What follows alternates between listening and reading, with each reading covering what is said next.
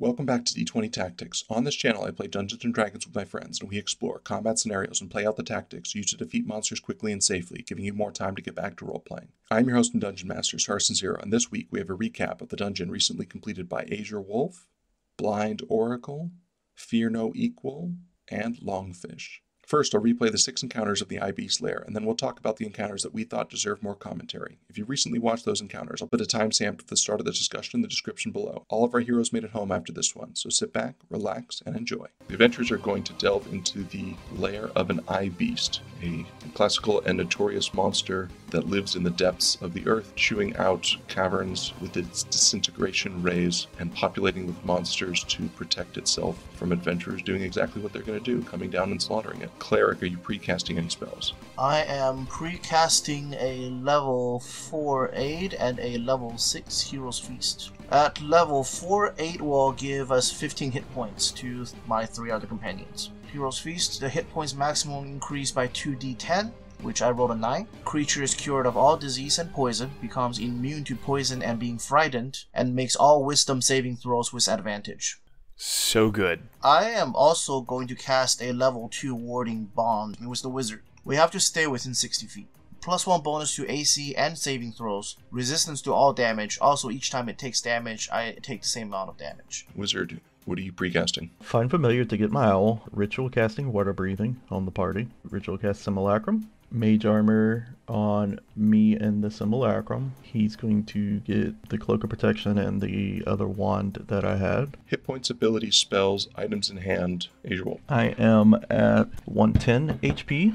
In my hand is the Wand of the War Mage plus 2 and my Wand of Magic Missiles. Four first level, 3 second, 3 third, 3 fourth, 2 fifth, 1 sixth. Arcane recovery is still available. Blind Oracle. I have 139 out of 139 hit points, holding a plus 2 short bow. A Fochlucan Bandore has Fly, Invisibility, Levitate, Protection from Evil and Good, Entangle, Fairy Fire, Shillelagh, and Speak with Animals available. Sneak dice all day. I have 172 of 172 hit points. I have Second Wind and Action Surge available, and I have two uses of Indomitable available. I have a Great Axe plus two in hand. I have a Circlet of Blasting and another one in the bag. Longfish. I am currently at 138 out of 138 hit points. I am holding the Staff of Python and Shield plus 2. I have 4 level 1, 2 level 2, 3 level 3, 3 level 4, 2 level 5, and 1 level 7 spell slot remaining. 2 charges of Channel Divinity. Simulacrum. He is currently 43 HP. 4 level first slots, 3 level 2, 3 level 3, 3 level 4, 2 level 5, 1 level 6, and his wand. Monsters' abilities, items, and numbers. In this encounter, at the entrance to the dungeon, the adventurers face down against a Behir, Behir, I'm not sure how to pronounce it. I think we're getting into a lot of monsters I don't know how to pronounce. And a couple of small eye beasts. The Behir is like a lightning lizard with multiple legs. They can shoot a lightning breath, they can constrict, they can swallow people because they are a huge monstrosity. They got a passive perception of 16, so an active check will put them in threat range of our rogue. They are immune to lightning damage, as you would expect a lightning lizard to be. The small eye beasts are going to spectate for this fight and maybe get involved. They have a bite attack, which isn't very good, but they can shoot two eye rays a turn with 90 foot range. They can confuse you, paralyze you, cause you fear, or wound you, which is fun. They also have the ability to spell reflect back as a reaction. Which is rough. They have a passive perception of 16 as well. Sorry, Rogue, you're going to have to be making checks on this one. Am I? Uh, you're at 25. Yeah. With a potential perception of 26, they could find you. Okay. If you roll below a 10 and you get a 10 and they roll a 20 and they tried to find you, I mean, I probably won't try it, but they potentially will have to do it. You want to burn an action? That's that's a win for me. Maybe you choose not to make the rolls, just attempt me into doing it. Terrain and effects. Terrain's pretty straightforward. Not a lot of notes about this. Plenty of difficult terrain outside. Plenty of things to hide behind. Lots of trees. There is a choke point of sorts in the middle here, so there's going to be a lot of opportunity to try to get angles and, and duck back into cover, so that'll be fun. The inside, once you cross through the threshold here, the inside is 15 feet high. There's no questions. We'll move on to tactics. What do you guys think for tactics in this fight? As the small person, don't get eaten. So I missed out on the simulacrum last time. I assume that that's a fairly valuable early resource, and we should just go ahead and protect it long enough for it to blow out its spells. That seems to be the way to go with it because it's going to be the target. So yeah, It's got such a small hit point pool. So I think we want to try and drag them into coming out of the cave so that we can avoid pop and shoot lesser eye beasts. Use the simulacrum on the Behir as much as possible to just lay down damage. Those guys are basically ground-bound dragons, so we make them take this fight outside. All right, let's get into it then. Go ahead and roll initiative. Anybody have higher than a 20? Anybody have between a 20 and a 15? 15 on the fighter. Anybody have between a 15 and a 10? 12 5 on the rogue. Anybody have between a 10 and a 5? I got a 9 on the Behir. seven for the wizard, five for the owl. And Cleric, what do you got for me? Two minus one. Fighter, you're first. Kick us off. I want to block, so I'm going to move to the cave mouth and dodge. I want to draw some fire off the wizard. After that, we're going to go to the Rogue. Is it feasible to hide in the difficult terrain behind the rock that is northeast of the fighter? Yep, Perfect. Let's go ahead and move there. I think I have to dash to do that. 5 will get you there. Dash action. Perfect. And then hide action. A 23. My minimum is 25. The Behir's turn. Lesser Eye Beast is going to move. We're going to try to go for the Fighter. First one is a Paralyzing Ray. Fighter, give me a DC 13 Constitution save versus Paralysis. 25. That'll pass. Give me a DC 13 Constitution save versus Wounding Ray. 19. That'll turn 20 points of necrotic into 10 points of necrotic. And then he's going to move back there. And these are 90 foot range, which is fine. The same thing. Give me a DC 13 versus paralysis. 25. Another 25. Sounds good. And then another DC 13 versus wounding. 29. You're going to turn 14 into 7. The Behir is going to move forward. It has a bunch of legs, so it moves awfully fast. With 50 feet of movement, it's going to get within 20 feet of you and hit you with a line of lightning. A DC 16 dexterity save. You're dodging, so you have your advantage on this. 15. 15, that sounds like a fail. 48 points of lightning damage. And then the Behir's going to move back. After that, we're going to go to the Wizard. Perfect. I'm going to cast a magic missile. Gonna blow two charges. Dice is going to be a two. 2 plus 1 is 3. 3 plus 5 is 8. 8 times 4 is 32. He's going to take 32 points of force damage. I would like to move northeast there as far as I can And do you have any command for your simulacrum? to burn it with disintegrate. And then the simulacrum goes. Tell me about it. Going to cast disintegrate. We're going to overchannel with this bad boy. It is a DC 18 dex save. Doesn't look good. Fails with a 9. Because it's overchanneled, it does max. 10d6 plus 40. 10d6 is going to be 60. Plus 40 is 100. 100 points of force damage. And he's going to join me up here. I don't have to go look at our records. That is definitely the damage record. After the wizard, we go to the owl. Yeah, Let's get behind the rogue because uh, don't think I can get in and get out safely. After the owl, we go to the cleric. Can you move me one space to the northwest of the fighter? And I am going to cast Sacred Flame on the lizard. It's 2 on the die, plus 3 is a 5. 3d6 for 12 points of damage, and I will enter. After that, we go to the top of the order, which is the fighter. Let's just go in to contact with the Behir, and we're gonna attack. Attack number one is a 26 to hit, Hits. 14 damage. Attack number two, that is a crit Yep. for 20 damage. Lethal. And then retreat 10 feet as close to the rogue as I can. Bonus action, second wind, D10 plus 14 healing, gonna grant me 17 HP. After the fighter, we go to the rogue. Let's do this. So I'd like to pop out from behind the rock. There's no way to see that front eye beast, is there? Not unless. I gotta get to there. You would need to be down here. Let's click the Boots of Speed, move there, take the shot with advantage from breaking concealment, and then 27 to hit 27 will connect. for 29 points of damage. Use the rest of my move back behind the rock. After the rogue, we go to my turn. We're going to do what we should have been doing from the beginning. This guy's going to move. He's going to shoot an eye beam at the simulacrum. Simulacrum, give me a DC 13 Constitution save versus wounding. Sure. That is a 16. Half 25 sends it to 12. And I got one square left, so I'm going to go skirmish. And then after I'm done skirmishing, I'm going to use my other eye beam ability. We're going to hit the fighter with paralysis. Fighter, give me a DC 13 con save versus paralysis. Well, I didn't roll a 2, so it's good. 21. The other one is going to go so he can actually get there. Does he have line of sight? He does not. So we're just going to hit the fighter with the paralysis, DC 13. 21. Pass, you are not paralyzed, and might as well hit you with the wounding as well. DC 13 versus 28. So you're going to take this 9 and turn it to 4 points of necrotic. That's both of my guys. After my turn, we're going to go to the wizard's turn. Oh man, these guys have that vulnerability, so this is gonna be interesting. Let's step out and upcharge another magic missile for two. Their reaction says if the Eye Beast makes a successful saving throw against a spell or the spell misses, then they can choose another creature they can see within 30 feet of it and redirect the attack. This is not a thing that can miss, it's not a thing they save against, so they can't use their ability. Yeah, I took a gamble. Two on the dice again. 2 on the die plus 1 is 3, plus 5 is 8. 8 times 4 is 32, and this guy drops. Three more squares of movement. You're going to hang out, you're going to stay, you're going to move. Back north. After that, we go to the simulacrum. But he's gonna fire a magic missile. He's gonna move up. It's gonna be uh, do level three, just in case. Glad I did level three, because that's a one on the die. 1 plus 1 is 2. 2 plus 5 is 7. 7 times 5 is 35. Takes 35 points of damage. And let's move him back behind the wizard. After that, we go to the owl. Yeah, let's move in and give to fighter, I guess. After the owl, we go to the cleric. Move me two spaces to the south of the fighter, and I will drop another Sacred Flame on the Eye Beast. Dex 18. He gets a nat 20, plus 2 is 22. He makes this successful save against the throw. He's going to choose another creature within 30 feet, which is going to be the owl. The spell targets the chosen creature instead of the spectator. If the spell forces saving throw, the chosen creature makes a save of its own. So owl, give me a DC 18 dexterity save. That is a 12. 12 sounds like a fail. Cleric, give me some damage. 14 damage. 14 points of damage to the owl. I think that's lethal for the owl. Yeah, he's only got one. Cleric, anything else? That'll be it. End turn. After that, we go to the top of the order fighter. Advance two spaces to the southeast.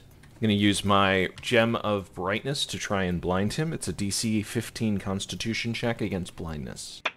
15 on the nose. And then I will drop to the southwest, and that'll be it for me. After that, we go to the rogue. Same play as before, although I think I have to take a hide bonus action first and then shoot. It's a 30. 30 will do it. Very sneaky. Much woe. And then we'll take the attack at advantage. 18 to hit 18 will do it. for a total of 37 points of damage. He drops. Nice. And that's the encounter. Port hit points. 120 of 172. 139 of 139. The wizard has 110. Simulacrum. is at 31. 138. The dungeon has been breached. The adventurers are on the way to clearing out the eye beasts that remain within. Hit points, ability spells, items in hand. Hit points 120 of 172. Great Axe plus 2 in hand. I have my action surge available and two Indomitables, and I used one charge on my Gem of Brightness out of 50. I am wearing one Circlet of Blasting with another in my bag. 110 hit points remaining. I've used up four charges on my Wand of Magic Missile. As for my spell slots, I still have all four first level, all three second, all three third, all three fourth, two fifth, one sixth. Arcane Tradition is still up and ready to go. And as for the Simulacrum, he is sitting at 31 HP, four first level slots, two second remaining, three third, three fourth, two fifth, 139 out of 139 hit points, holding a plus 2 short bow, shooting plus 1 arrows. The instrument of the bards on my back. We have fly, invisibility, levitate, protection from evil and good, entangle, fairy fire, shillelagh, and speak with animals still available. Boots of speed have 9 minutes remaining. Currently at a 138 hit points. I am holding the Staff of Python and Shield plus 2. I have 4 level 1, 2 level 2, 3 level 3, 3 level 4, 2 level 5, and 1 level 7 spell slots remaining. I have both charges of my Channel Divinity. Monsters' abilities, items, and numbers. This encounter has two fire giants and two small eye beasts. Fire giants are pretty straightforward. They're huge creatures. They move 30 feet. They hit you with great swords and they throw rocks at you. They're immune to fire, as you imagine fire giants might be, but otherwise they're just a bag of hit points in a suit of armor. Small beasts have 30 foot fly, passive perception of 16 as well. They have eye rays that they can shoot two of per turn. One confuses, one paralyzes, one causes fear, and one wounds. So you're going to pick two of those. I like the paralyzing and the wounding. They also have a reaction where they can reflect spells back against you if you miss them with an attack or that they make their save. Terrain and effects. This terrain is pretty straightforward as well. You got some tunnels, you got some rocks. There's some difficult terrain in here, stuff to hide behind. Not much though. These are 15 foot high tunnels, which will accommodate the giants, who are also 15 feet high. Tactics. What do you guys think for tactics in this fight? Oof. Spirit Guardian, Choke Point, the gap to the east of us. Uh, if we can get there in time. Uh, we can't choke point the eye beasts though. Try and avoid spells on those eye beasts and take down the fire giants first, I think. The eye beasts just don't do that much damage. Especially if we can force them to fire on the cleric and the fighter. Fighter, you won't haste this round? It might be better on cleric to get him into choke pointing. I'll take it if you want to throw it down. We'll see how the initiative order works. Yeah, that I think that's the only thing is if cleric can go very early, it might be worth it just to get him in to separate the fire giants. Otherwise, go ahead and throw it on me. Roger that. Haste is really important. I can also throw haste. Let's go ahead and roll initiative. Anybody have higher than a 20? Anybody got between a 15 and a 20? 18-5 for the rogue. 15. Who's got between a 15 and a 10? Who's got between a 10 and a 5? Uh-oh. Who's got between a 5 and a 0? Five on the fighter. The Giants have a 4. 4 minus 1. Rogue, you're up first. Bonus action hide, 25. Then move out, shoot the giant to the south, 24 to hit 24 hits. for 42 points of damage. Great sneak die roll. And then as much movement as I can to get back into the corner. That's turn. After the rogue, we go to the wizard. The cleric was going after the fighter, right? So let's haste the fighter with a haste scroll. And my command will be to move up and shoot that giant to the south with missile. Simulacrum. Fifth level, and that is a 4 on the dice. 4 plus 1 is 5. 5 plus 5 is 10. 10 times 7 is 70. 70 points of damage to the giant. Crawl back in the hole. Can't crawl back in the hole, so do you want to block the fighter or do you want to stand next to the rogue? I have haste. Block me. fighter, block him. After the simulacrum, we go to the speak of the devil fighter. Go ahead and roll out down towards the south fire giant, and then we are going to go ahead and gem of brightness. This guy, well, it's a DC 15 con check. Yeah, do it anyway. Fire giant with a constitution save modifier of plus 10 gets a 21. Yeah. All right. Well, won't have to do that again. And that'll be it for me. After the fighter, we go to the giants. I gotta sync that simulacrum. This guy's gonna go there. Simulacrum, give me a DC 13 constitution save versus the wounding ability. 13 on the head. 16 goes to 8 points of necrotic. Rogue, give me a DC 13 versus paralysis. 21. 21 will pass. Down here, this eye beast is going to move to there, and we're going to check line of sight. I do not have it to the simulacrum, but I do have it to the rogue. Rogue, give me a DC 13 Constitution save versus paralysis. 13. Now give me a DC 13 Constitution save versus wounding. 5. Five is going to fail, takes 17 points of necrotic. Are you concentrating on anything? I am not. Do you like being included in the concentration checks? I do, it's fun. I am going to use my reaction to half that 17 damage. Does it have to be an attack? Because this is not. Let me look. Reactions, uncanny dodge, and attack. Yep, nope. I'll take that 17. Sorry, that guy's going to move to there, and he's going to go after the fighter, surprising nobody. So here's the great sword attack 29 to hit you, AC is 21. 39 points of slashing damage, all fives and sixes. Second attack 21 to hit you, 21's exactly what you need.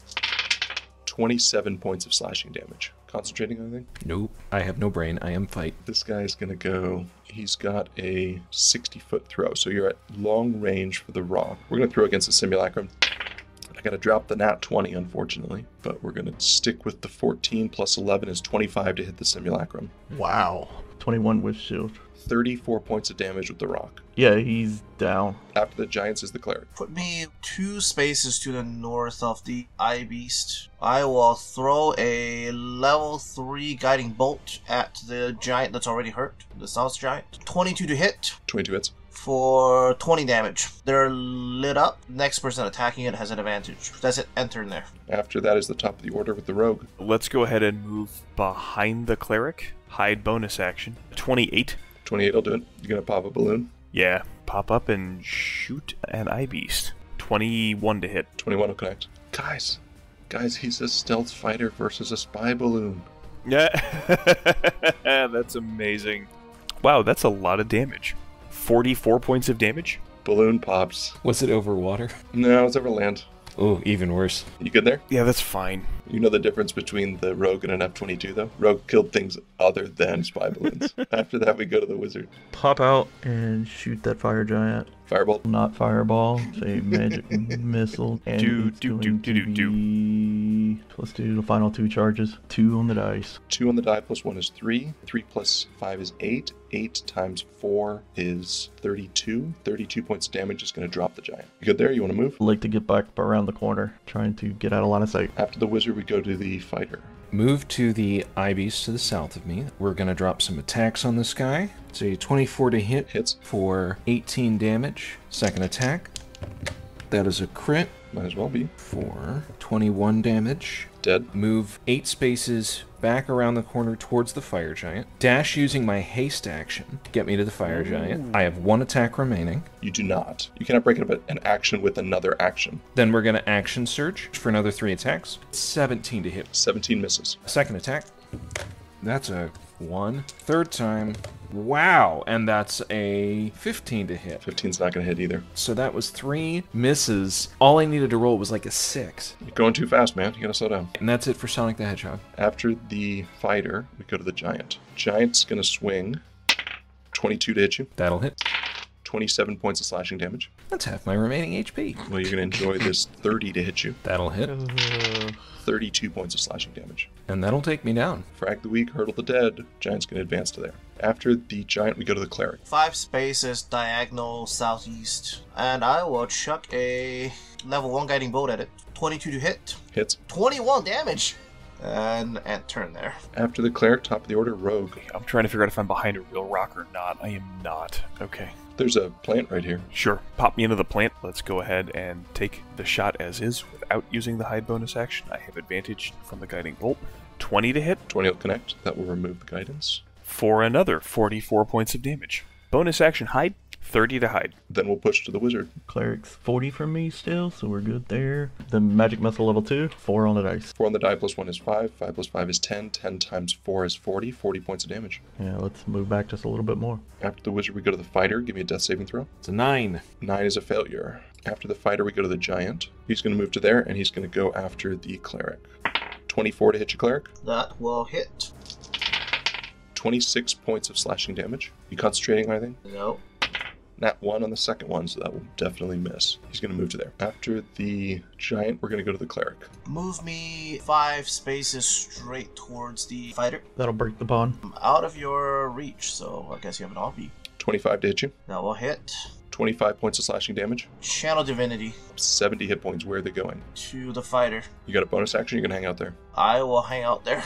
After the cleric, top of the order, rogue. Let's go ahead and pop out and shoot the giant with advantage. 28 to hit 28 hits. for 42 points of damage. Bonus action hide, 30. After the rogue is the wizard. Believe I still have line of sight. Yeah, I think so. Another second level magic missile. 3 on the dice. 3 plus 1 is 4. 4 plus 5 is 9. 9 times 4 is 36. 36 is lethal. The giant drops. No other clocks are running out now, so that will wrap up the encounter. Report hit points remaining. 70 out of 172. 122 out of 139. 110. 87 out of 138. Anybody going to take pre rest actions? I'll pop another Channel Divinity to get the fighter up to half. So I'll gain another 16. Hit dice used. I spend 2 hit dice and I recover 17 hit points. I spend 8 hit dice and recover 86 hit points. I spend 0 hit dice because I'm full. Spending 6 hit dice, I heal 36. Any post rest actions? Ritual cast my familiar back. Arcane recovery or no? No, not using arcane recovery yet. Can't wait to see what we got later on. Whatever this eye beast has collected, it's got a bunch of giants guarding the front of its lair, so it's got to have more interesting stuff deeper within. The adventurers will descend lower and find out what it has. Hit points, abilities, spells, items in hand. 139 out of 139 hit points, holding a plus 2 short bow, using plus 1 arrows, and my instrument of the bards still has all spells remaining strung on my back. One charge remaining on the Wand of Magic Missile. 110 hit points. 4 first level. 1 second. 3 third. 3 fourth. 2 fifth. 1 sixth. 172 of 172 hit points. I have Second Wind and Action Surge uh, available once again, and two uses of Indomitable. And I still have my two Circlets of Blasting, one on my head, one in my pocket. 18 out of 138 hit points, holding my plus 2 shield and Staff of Python. Uh, I have 3 level 1, 3 level 2, 2 level 3, 2 level 4, 2 level 5, and 1 level 7 spell slots remaining. I have both charges of my Channel Divinity back. Monsters, abilities, items, and numbers. This is going to be an interesting fight, I think. A creak of a door, a scrape of stone, a snap of a branch. You're not sure what's in this room, but you're certain that there's something here. You're aware of enemies, but you don't know where they are. Anybody have a passive perception better than 28? All right. Anybody have a passive perception better than 24? Okay.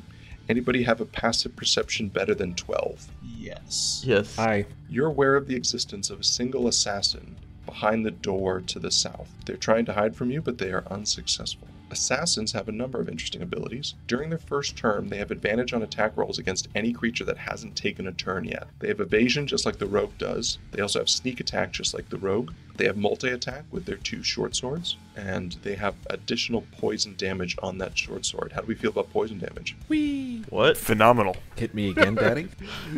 Yeah, light crossbows have the loading property, so they can't use multi attack with the light crossbow. They have a passive perception of 13, a maximum perception of 23, so rogue, you can just take half. There are two additional assassins in this room. One is hiding behind the door over here, the other one is hiding next to the statue here. Alright, that's fun. Terrain. Another straightforward terrain encounter. There's a lot of tunnels here. Interestingly, there are four doors. They're marked with black lines, not just on the terrain layer, but on the map itself. The doors are currently closed. If you wish to open them, you can, and the black lines will disappear. There's a couple of pieces of difficult terrain spread around the map, things that you can hide behind. You can completely crawl over all the statues if you want to, though they are difficult terrain to do so. Tactics. What do you guys think for tactics in this fight? Well, we only have the one enemy, so I think we stay split up and cover the two doors that they can access us from. Once we can identify where they are, then we just mob them fast. You won't haste there, fighter? How many casts do you have of haste? I have a bunch of scrolls, dude, so let's use them up. Oh, cool. yeah, do it. If that's that, let's go ahead and jump into combat. Roll initiative. Hey. Anybody have higher than a 20? 24.5. Anybody have between a 20 and a 15? 15 on the fighter. Who's got between a 15 and a 10? 13 on the owl, 9 on the wizard. 8 for the assassin. And cleric, what do you got? One. You're, I mean, the thing is, like, it's mostly determined by the d20, and somehow you're always rolling terrible on these. Just wants to go first in the second round. That's all. The rogue, you're up first. I don't really have any great play here. The door is closed, right? The southern door is closed. The black lines are closed to doors. Cannot see through them. Bonus action to hide, taking 10 for 25. And ready action to attack the first enemy I see. Do you want to move so you have a better line of sight? If I can do that, that'd be great.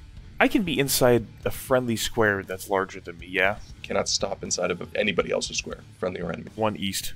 After the rogue, we go to the fighter. Gonna do it right this time. Two spaces to the southeast, and ready my gem of brightness to blind the first enemy that I see. Interesting. Okay. After the fighter, we go to the owl. He's gonna call dodge. After the owl is the wizard. Wizard's gonna pull out a scroll of haste and tap that fighter with it. Fighter, you're jumping around, hopping mad. Caffeine. After that, we go to the assassin. Nobody knows this, but an assassin is going to move. He needs to do somersaults like the Marines. Cardboard box. But does he do Cardboard box. parkour? Another assassin's going to move. Then the other one is going to ready an action to stab somebody if they come within range. After that, we're going to go to the cleric. Cast third level Spirit Guardian. Nominate all my friends as allies. And because the rogue is hidden behind you, you can still see him. After that, we're going to go to the rogue.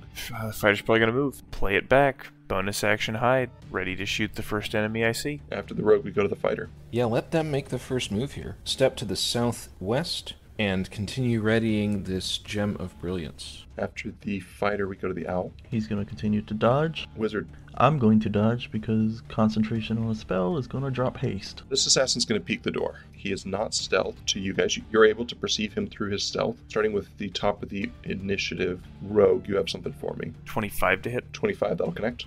for 45 points of damage. And then the next one, I think, fighter. DC 15 con save versus blindness.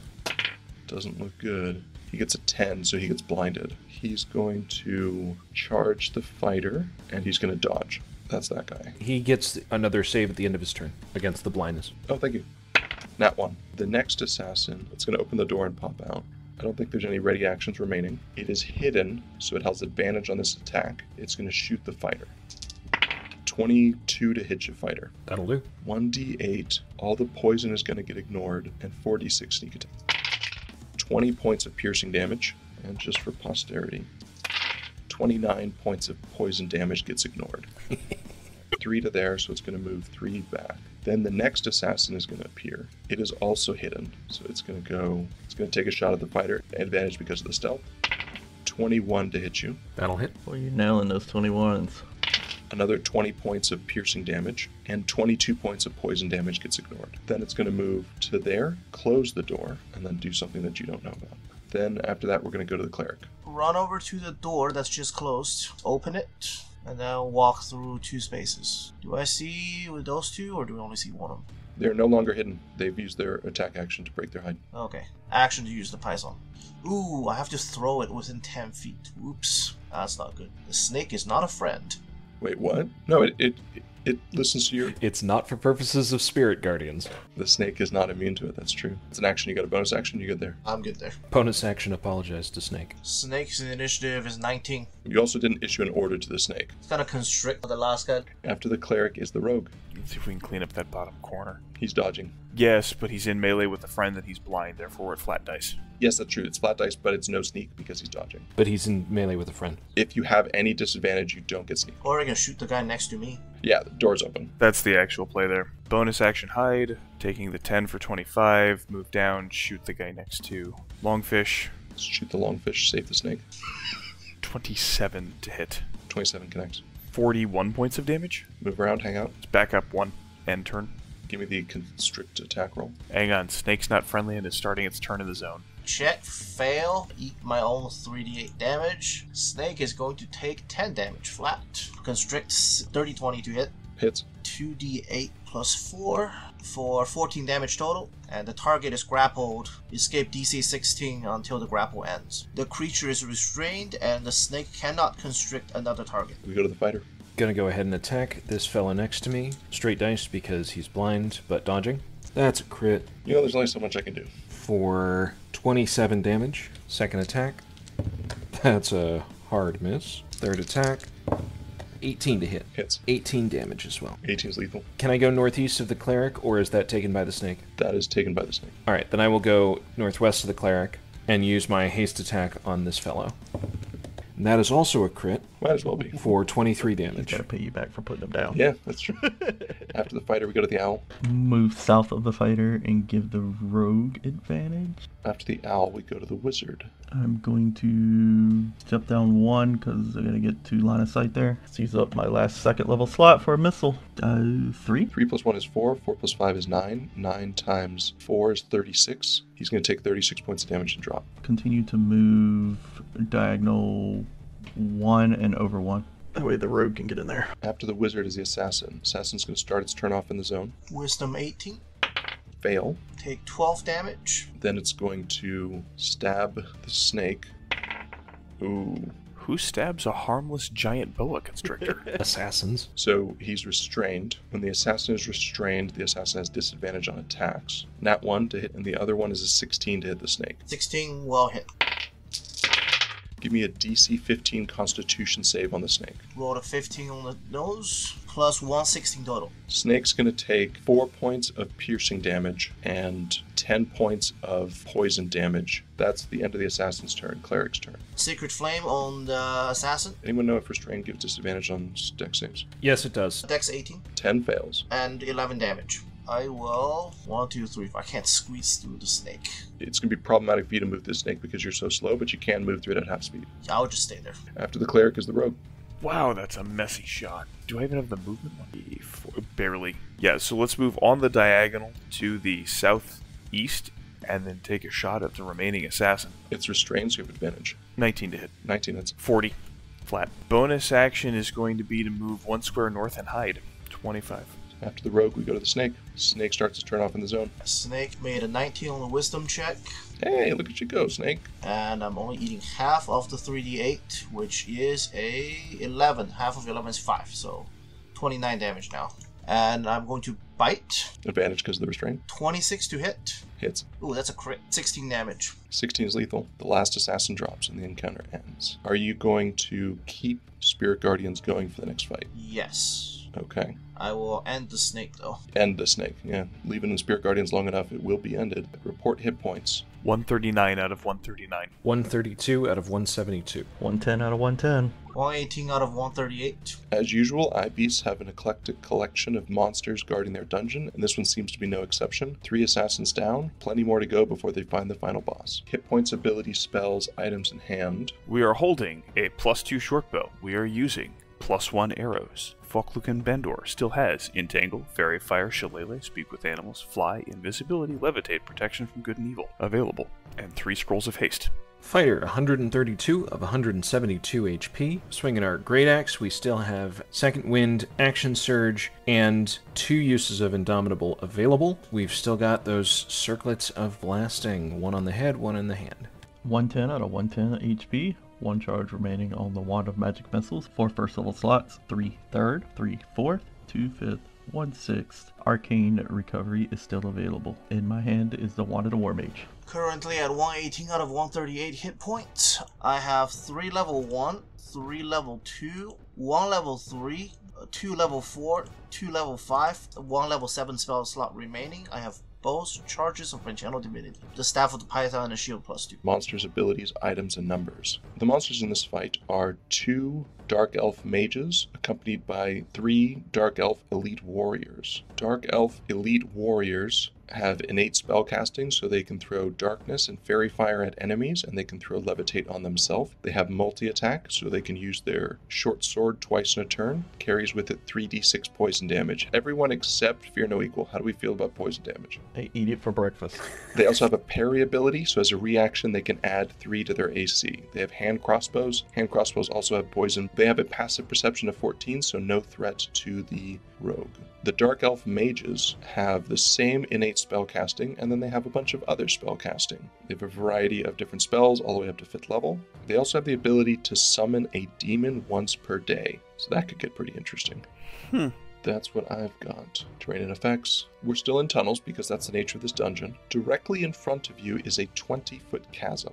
It's a DC 15 athletics check to climb out of it. Otherwise, these are 10 foot tall tunnels all around you. Any questions about the terrain? How deep is the chasm? 20 feet, 2d6 falling damage. Tactics. What do you guys think for tactics in this fight? That's a good question. We either put a cork in the bottle here, or we let them come out to us. Either way, I think we're facing demons. So I think maybe we let them come out to us to reduce spell damage. They're going to throw darkness around, and that's going to limit our options a lot. 20 foot chasm's gonna be interesting. Speak for yourself, I got winged boots. I'm stumped at this one. We do know from previous experience if we're going to crack open Spirit Guardians, do it early, because darkness is really going to mess with us. You should still be on. So it's already got all of us included. How many spellcasters do you have over there? I have Globe of Invulnerability, which would block all 5th level spells, and it's a 10 foot radius around me, if we want to use that. I'm looking how the DC 15 athletics check interacts with the second story work. You climb at full speed, so everyone else, if they were to climb out, they would be climbing at half speed. You still have to make the check. If you succeed, you do it at full speed. There's no action economy to this. I mean, if you fail, then you can move somewhere else. You just can't climb up.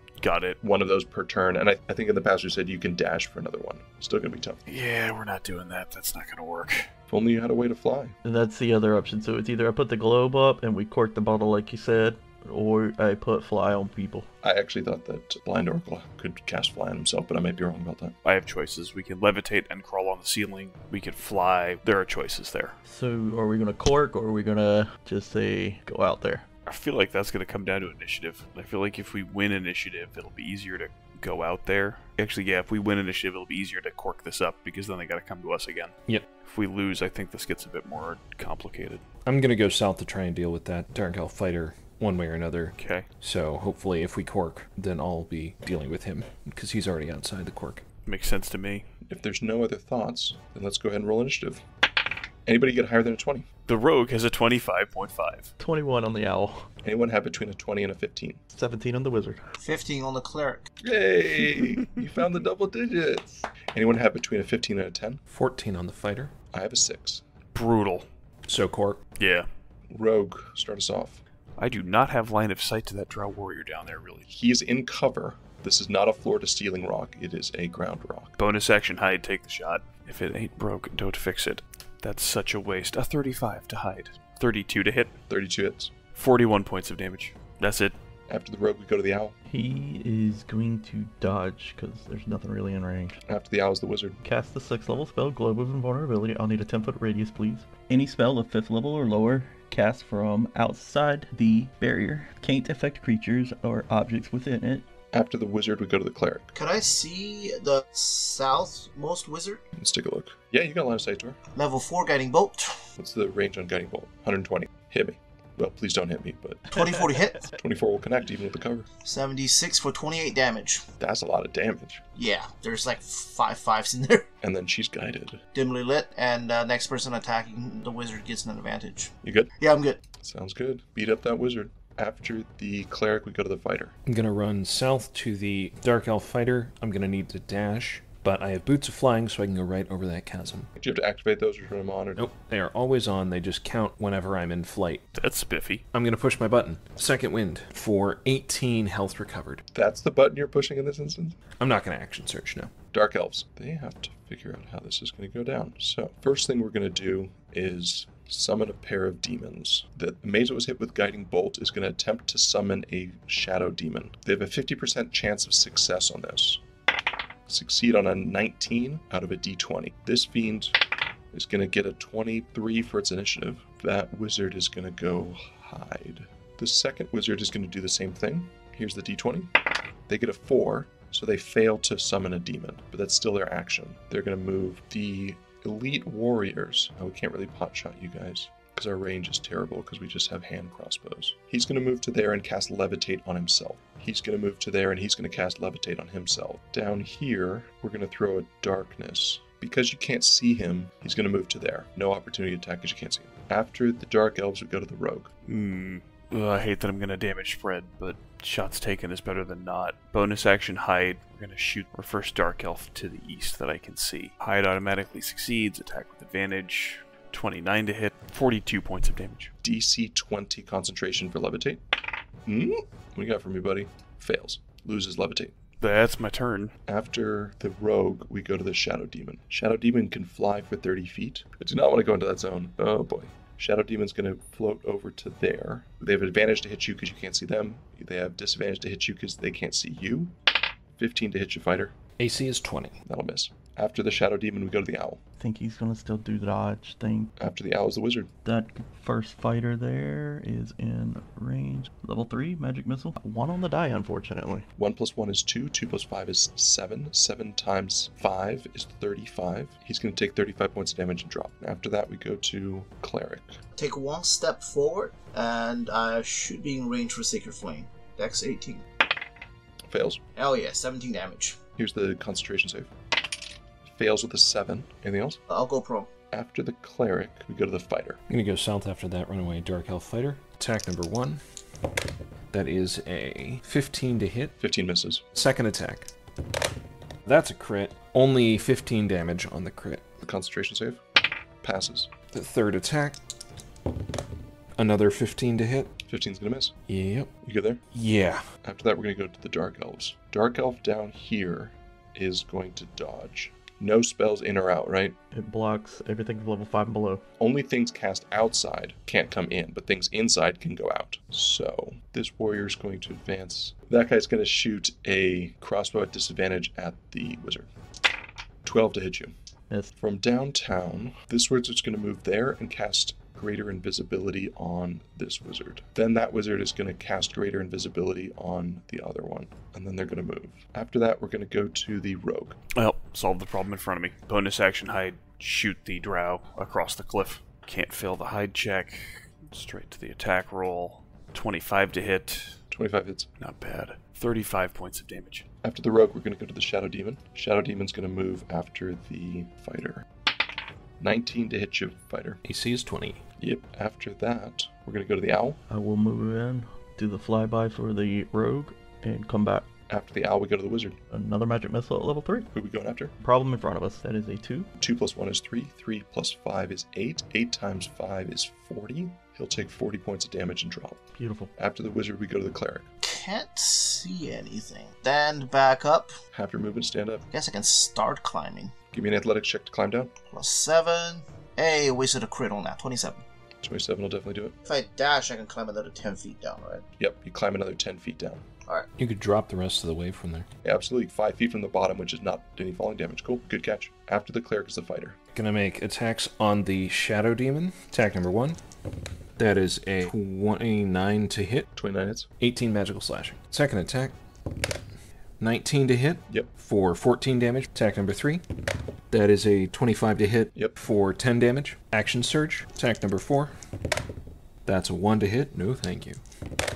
That's a 22 to hit. Yep. 12 damage. Last attack is a 23. Hits. 10 damage. That will do it for me. After that, we're going to go to the Dark Elves. Dark Elf down here at the bottom, the Elite Warrior is going to help the Shadow Demon attack the fighter. This wizard's going to move invisibly to there and cast Lightning Bolt, targeting the Cleric. Give me a DC 14 Dexterity save. That's a six. Cast at fourth level. Take 37 points of lightning damage. Spell save was an 18. Then this one is going to go to there. It's going to cast Misty Step to move to there. And it's going to hit you with Ray of Frost. Advantage because you can't see it because it's invisible. It's going to be a 25 to hit. Will hit. Take 9 points of cold damage, and your movement speed is reduced by 10. Concentration save is 11. That'll pass. After that, we're going to go to the top of the order Rogue. Am I over metagaming if I fairy fire the area where they just cast from? Absolutely not. You just saw two magical effects appear from that location. We are going to use my instrument of the bards to cast fairy fire. They need to make a DC 13. It is a 20 foot cube. Any creature in the area when the spell is cast is also outlined if it fails a dexterity saving throw. The northern drow gets an 18, the southern drow gets an 18. Okay, perfect. Then I will back up and use my bonus action to hide, and that is my turn. After that, we're going to go to the Shadow Demon. Shadow Demon has advantage on this attack. It's going to get an 18 to hit you, which is not enough. After that, we go to the Owl. He's gonna dodge because there's nothing in his range that he sees. After the Owl, we go to the Wizard. Following suit with the rogue, I think I'm gonna just spam fire an AoE in that direction. Let's go Fireball Scroll. DC 18 Dex 31. The northern one will fail with a 10. It'll take 31 points of damage and drop. The southern one will fail with an 11. It'll take 31 points of damage. DC 15 concentration save. It's going to get. I don't think that matters because you swap the castings. So we're visible now. After the Wizard, we go to the Cleric. Minus 10 feet of movement, you're down to 15. Alright, wobble 15 feet towards the wizards, I guess. Can I see it? Yeah, it's going to have cover from the cliff face, but you can see it. Sacred Flame. Fails. 18 damage. 18 is lethal. When the summoner dies, the demon dies. After the cleric, we go to the fighter. I'm going to attack the one remaining Dark Elf. First attack. That is an 18 to hit. I'm going to use my reaction to increase my AC to 21 for that attack. It will miss. Gotcha, just for that attack. Just for that attack. Second attack is a 23 to hit for 13 damage. Here's the concentration save. Passes with an 18. Third attack. That's a crit for 24 damage. 24 points of damage. The dark elf drops, the darkness drops, and the encounter ends. Report hit points. 139 out of 139. 110 out of 110. 72 out of 138. 150 out of 172. Any pre rest actions. I will use the Pearl of Power to get a third level slot back. Sounds good. Same. Anyone below half? Nope. The second and final short rest. Is anybody going to spend any hit dice? I spend my remaining 6 hit dice for 22 HP. I spend 8 hit dice for 60 hit points. Any post rest actions? Yeah, I'm going to swap my Pearl of Power for Winged Boots during the short rest. I'm gonna swap out my Pearl of Power for the Boots of the Winterlands. I'm going to recover third level, two second level slots back. The eclectic group of defenders continues as the adventurers march ever deeper downward through the tunnels and on towards the next encounter, clearing out the lair of the Eye Beast and looting the place as they go. Hit points, abilities, spells, items in hand. Holding a plus 2 longbow using plus 1 arrows, having a instrument of the bard slung across my back, I have 139 out of 139 hit points. We have used the instance of fairy fire on the instrument of the bards. 110 out of 110 hit points. One charge on the Wand of Magic Missiles. Four first level. Two second. Three third. Three fourth. Two fifth. Arcane Recovery has been used. Currently at 138 hit points, I am holding the Staff of Python and Shield plus 2, 2 level 1, 2 level 2, 2 level 3, 1 level 4, 2 level 5, and 1 level 7 spell slot remaining. I have both charges of Channel Divinity.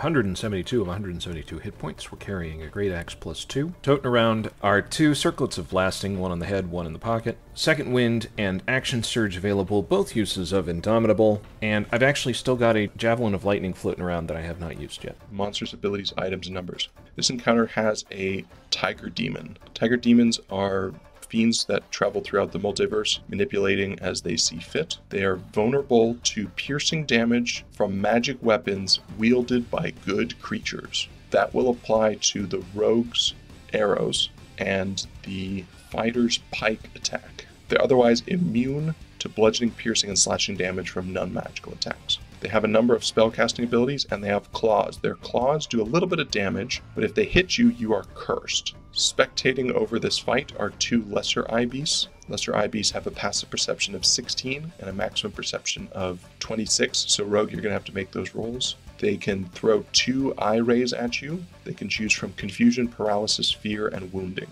They can also reflect spells back at their casters if the spell misses them or if they succeed on their saving throw against it. Terrain. Terrain in this fight is much like the other fights. There's a couple of pieces of difficult terrain floating around. There's a bridge above you going across this chasm. Tactics. Any thoughts for tactics in this fight? Definitely want to get into close combat with that tiger demon. I'm going to swap over to my pike. You're going to have to do that in combat. I intend to do that. Can you guys deal with the lesser eye beasts? Give it the old college try. Yeah. I mean, I'm not going to solo the tiger, so I would appreciate support fire from the rogue. One good sneak attack should obliterate the tiger demon. If we do obliterate it real fast, I'll circle back around and try and cover him. I would love a haste if Wizard goes before me. Was the plan, I think, right at the beginning here. Let's go ahead and roll some initiative. Good job, Tiger Demon. Done did good. Anybody have higher than a 20? Oh, that's good to hear. Anyone have between a 15 and a 20? 20. 20.5. 19 minus 1. You animal. 17 for the Tiger Demon. What do you got for me, Fighter? 14. And what do you got for me, Owl? 12. Well, Tiger Demon, you definitely tried. You got your numbers up there, but they weren't good enough. Wizard, what do you got? Haste on the fighter via a scroll. And that's a tunnel to the south or no? It's on a bridge, so there's a bridge right in front of you guys, and then there's a tunnel at the end of the bridge. Okay, yeah, I want to get under the bridge. After the wizard, we go to the rogue. Hang on, we're trying to figure out a way to hide and not get shot by eye beasts in the back. It's not going well. Alright, bonus action. Click my heels, double my speed. Action. Use magic device. Haste myself. So now my speed is ridiculous speed. 100? Yeah, yeah. Ludicrous. It takes me 18 squares, but go ahead and put me right there. That's a move, a standard, a bonus. I have a haste action that I can't really use. Can you dodge with it? I cannot take the dodge action, but I can take the hide action. Uh, that's a 25. Cleric. Can we see the eye beast from here? You do not have it line of sight. They're up a cliff and then back into a tunnel. Okay. I'll chuck a guiding bolt at the tiger demon. First level. Limited magic immunity. The Tiger Demon cannot be affected or detected by spells of 6th level or lower unless it wishes to be. So it will choose not to be affected by that. I- Oh, they can just dodge that. Okay, never mind. If that's the case. I bless myself, the fighter, and the wizard. I'll move forward my maximum speed. Tiger Demon's going to advance to there with his 40 foot move. He's going to throw a Dominate Person on the fighter. Can counter counter that with his immunity or no? No, it cannot. He has a DC 18 Wisdom saving throw. This is a wisdom, so advantage. That's 12. We're going to indomitable this. That's a 9. So we're going to wind up taking it. While the target is charmed, I have a telepathic link with it. I can use the link to issue commands, and you do your best to obey. I can use your action to take total and precise control over the target. Each time the target takes damage, it makes a new wisdom saving throw against the spell. So he's going to instruct you to kill the wizard. If he starts to move towards me, I'll drop concentration. That's the Tiger Demon. Floating balls of fun. It's going to go down here, float downward, and blast the wizard. Wizard, give me a DC 13 Constitution save versus wounding. It is a 16, sir. 16 will pass. You're going to take half of this. Half of 15 is 7. Concentration save. 12. Then he'll do a paralyzing ray on the cleric. Cleric, give me a DC 13 Constitution versus paralysis. 16 plus 4, dirty 20. Dirty 20, that'll pass. This guy's going to float down over there. Same thing. Cleric, give me a DC 13 Constitution versus paralysis. 13 plus 4, 17. 17 will do it. Wizard, DC 13 Constitution versus wounding. See, 13 on the hit. Another 15 goes to 7. Another concentration save. 16. After that, we're going to go to the fighter. I have to advance towards the wizard. You advance towards the wizard. Wizard, what do you do? Drop concentration. When haste ends, The target can't move or take actions until after its next turn, as a wave of lethargy sweeps over it. I'm going to call it this one. After the fighter is the owl. Let's move in and aggravate the tiger over there for the rogue. After that, we're going to go to the wizard. Eye beast in the southwest here. It's gonna fill some magic missiles. Fourth level. And that is a three. 3 plus 1 is 4, 4 plus 5 is 9, 9 times 6 is 54. He drops. Let's move south. You said there's a tunnel there. There's a tunnel on top of the bridge, so you're underneath the bridge at the moment. You just want to back up into the corner or something? Yes. After the wizard is a rogue. We're going to move out and shoot the tiger demon with advantage. Crit. Good night. So, you one shotted a tiger demon. Yeah. How's it feel? It feels great. Just throw that out there. So that's 69 points of damage. First of all, nice. Second of all, it is vulnerable to magical piercing damage from good creatures. That's going to double up to 138. You broke the record. You blasted the record. You just one shot a tiger demon. Fighter, you are no longer dominating. Yep. And you're hasted. I got things to do here, apparently, Places to be. and demons to shoot. So let's go ahead and move behind the mushroom. Bonus action to hide. A 35 to hide from the eye beast. Man likes his 20s. Move forward one to the north and shoot at the eye beast. 30 to hit 30 will hit. for 12 points of damage. I can only trigger sneak once per. Correct. So let's go ahead and move back behind the mushroom. After the rogue, we go to the cleric. I don't want to magic that thing. I'm just gonna run up there and bonk it with my staff. Smart move. 19 to hit. 19 hits. I do a total of 12 damage. After the cleric, we go to the remaining balloon. Balloon is going to throw an attack at the wizard. Wizard, give me a DC 13 Constitution save versus wounding. 12. I'm going to take full damage. You can take 17 points of necrotic damage. Cleric, give me a DC 13 Constitution save versus paralysis. 17. 17 will pass. You are not paralyzed. I'm not going to eat the opportunity attack. I'm going to move on to the fighter. Close in on the eye beast. I finally get to contribute. Look, I tried to get you to contribute. Attack number one. That's a 13 to hit. 13 misses. Yeah, 13 probably misses. Second attack. That is a 22 to hit Hits, for 18 damage. drops. Way to go, fighter. Report hit points. 79. 139 out of 139. 138 out of 138. 172 out of 172. Any end of encounter actions. Does anyone want a unicorn? What? Sorry, a unicorn? Like, to ride? Yeah, I can conjure Celestial. Okay, I have a magic pike. I could be the knight in shining armor just for one day. If we have to choose from like core manual, it's either Koatoa or a unicorn. I think that's like the most useful too. You, uh, you mean Coatl, not Coatoa. I was going to say, Coatl. Celestial Coatoa. You summon a Celestial of CR4 or lower. It's going to be a Pegasus, a Coatl. Oh, Unicorn's 5. Maybe I was looking at Pegasus. Yeah, so you can have a Pegasus, which is a, a flying horse, Still badass. or you can have a Coatl, which is a flying snake, but it's medium sized, you can't ride it. I can. That's true. you going to cast it? Get the Coatl. Yeah, conjure Celestial and get a Pegasus. Oh, you want the Pegasus. Cool. Do you guys want Pegasus or Coatl? Pegasus is probably better. The Coatl's CR4. Actually, if nobody really needs to ride it, then we might as well bring the Coatl. Yeah, bring the biggest hitting thing. I'll use my level 7 spell slot and get a Coatl. On behalf of anyone who speaks Nawat and is listening, we apologize. Anybody else have anything that they want to do? Anybody need healing? Not really. I'm only missing 31. That's it. So, no. With their new divine snake friend in tow, the adventurers are going to make it into the end of the dungeon, the final lair of the Eye Beast, confront it, kill it, and take all of its stuff. Hit points, ability, spells, items in hand. 79 hit points remaining. I have my Wand of the War Mage in my hand. Four first level slots, three third, two fourth, two fifth. Holding plus two shortbow, using plus one arrows. My instrument of the bards has fly, invisibility, levitate, protection from good and evil, entangle, shillelagh, and speak with animals still available. I've got two scrolls of haste left. I have 139 out of 139 hit points. Currently at 138 hit points. I have my Staff of Python and Shield plus 2 in hand. I have one level 1, two level 2, two level 3, one level 4, two level 5, and both charges of Channel Divinity. I have 172 of 172 hit points, carrying my Great Axe plus 2. I still have my Javelin of Lightning available, two Circlets of Blasting. I have Second Wind, Action Surge, and one use of Indomitable still available. Monsters, abilities, items, and numbers. A lot of stuff going on here. The dreaded Eye Beast.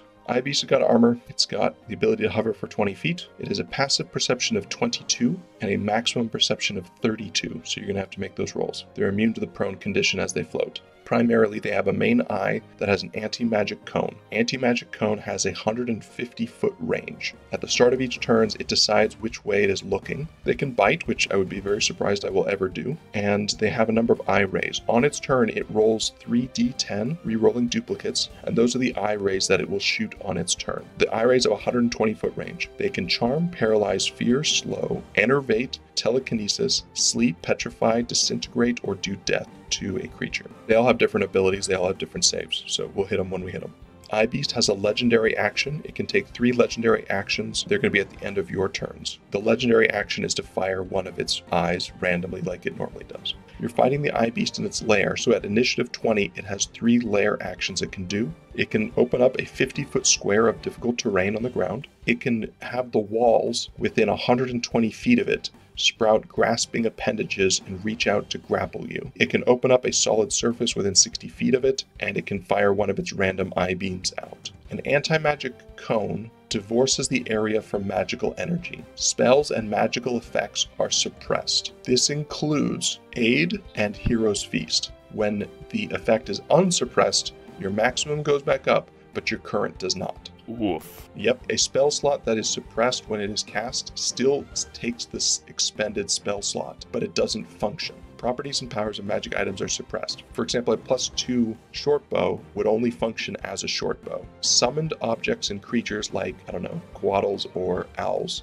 temporarily wink out of existence as long as the spot that they were in is in the zone. If I remember right, the eyes do not count as magic spells, right? They do. Do we know if it has resistance against non-magic weapons? It's not. It is immune to prone. That's the only resistance or immunity it has. Terrain and effects. Pretty standard for an eye beast lair. It's a bunch of tunnels. There's a pool of water at the end of it. Pool of water is deep enough that the eye beast can submerge itself if it so chooses. The room has a 20 foot ceiling, and the water is an additional 10 feet deep. Tactics. What do you guys think for tactics in this fight? So do we think we can draw it into the tunnels? Maybe.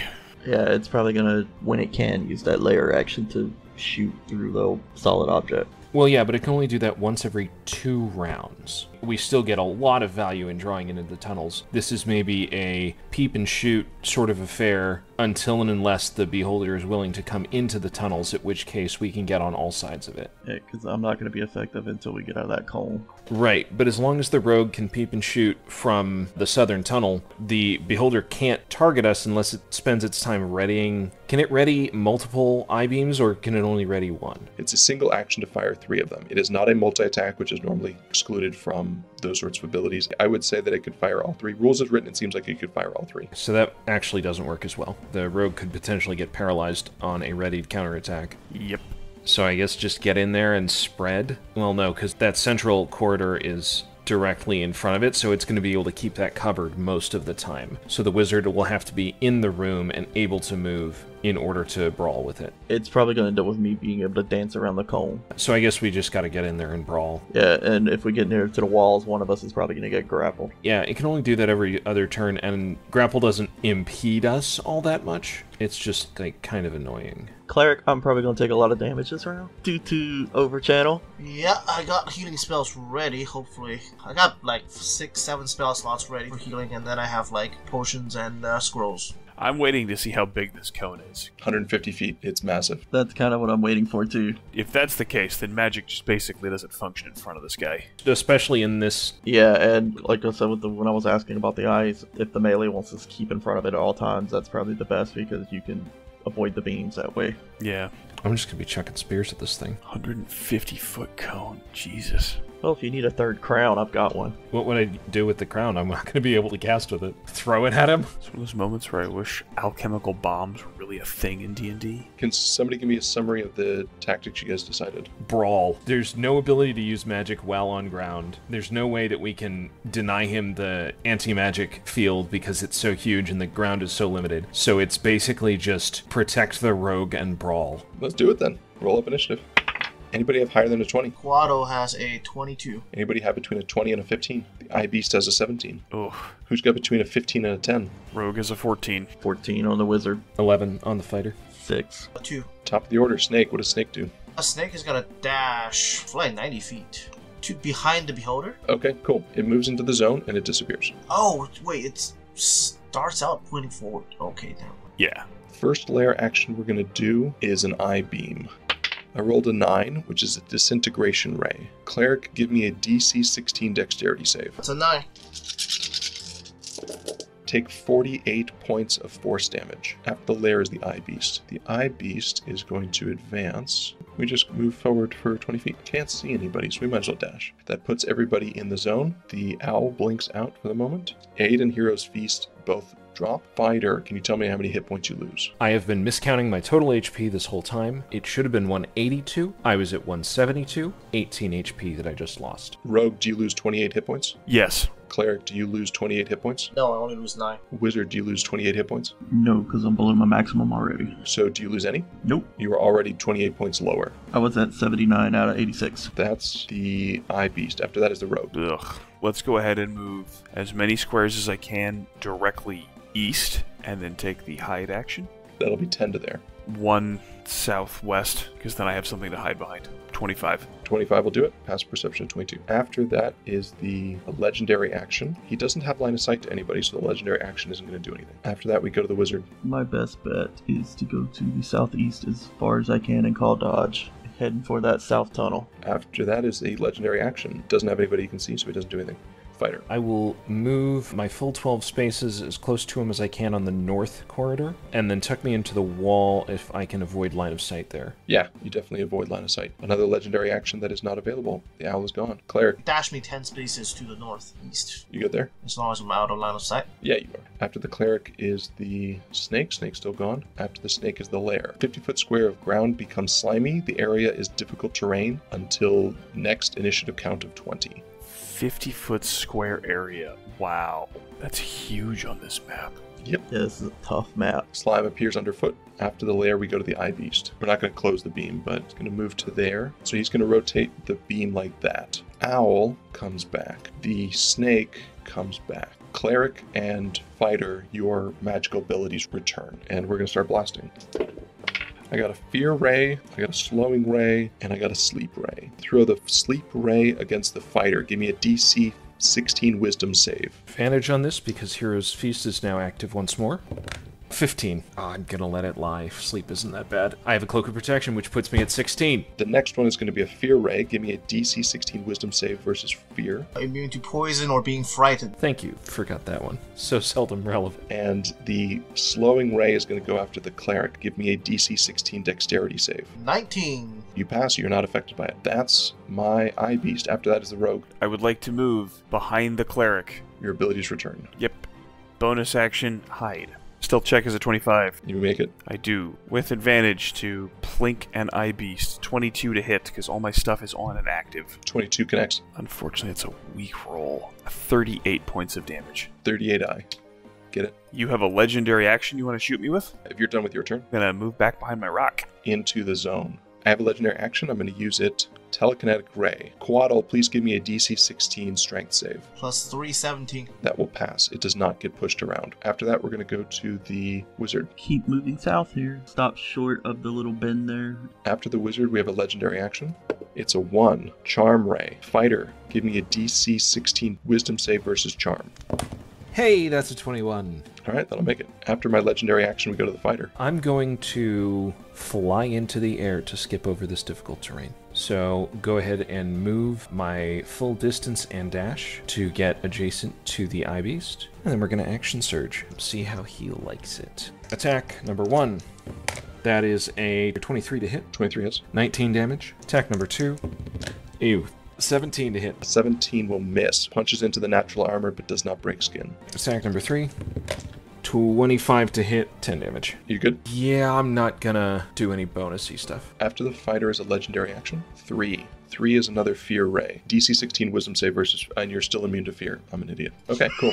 After the legendary action is the owl. Moving forward behind the cleric, I guess. And dodge. Cleric. I am also going to click my heels and fly. I'll put you there. You can s- remain in the air with flying boots. You can use the boots to fly for up to 4 hours. If you're flying when the duration expires, you descend at a rate of 30 feet per.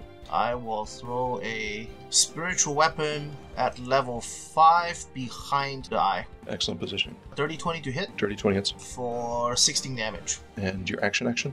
A dodge. After that, we go to the snake. Coatl's gonna fly straight at the eye beast, maximal 90 feet. Adjacent or not adjacent? Adjacent. Okay. And then it disappears. That's the end of the snake. After that is the lair. Shoot an eye beam at you. It's a fear ray. The fear ray is shot at the fighter. The fighter is immune to it. That's the lair action. After the lair action is the eye beast. Eye beast is gonna look. We're gonna look straightforward. Pal is gone. Spiritual weapon ends, or It's not in the beam. Excellent placement, like I said before. Then we're gonna move. Uh, we're gonna stay right there. No, please move. We're gonna roll three rays. I got a four slowing ray. Fighter, give me a DC 16 dexterity save versus slow. That's a nine. I'm slowed. Your speed is halved. You cannot take reactions. You can take either an action or a bonus action, but not both. And you can repeat the save at the end of each of your turns. The next one is a telekinesis. Give me a DC 16 strength save versus telekinesis. 19. 19, you'll pass. You're not hit by telekinesis. And then finally, the death ray. Give me a DC 16 dexterity save.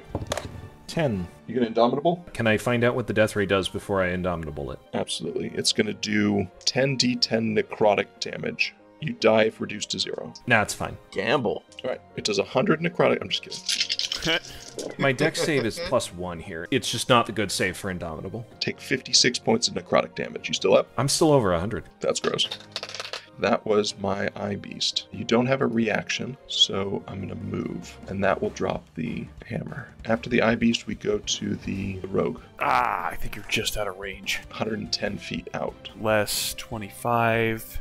Yeah, just outside. Yeah, so you can blink it with a dash, but that's it. Ah, being a stunty is terrible. Sure, let's go ahead and dash as a bonus action. Go ahead and hide behind that rock. 25. After the rogue is the legendary action. Legendary actions will not be effective this round. After that, we go to the wizard Just below the bin there if I dash. fighter. Am I slowed?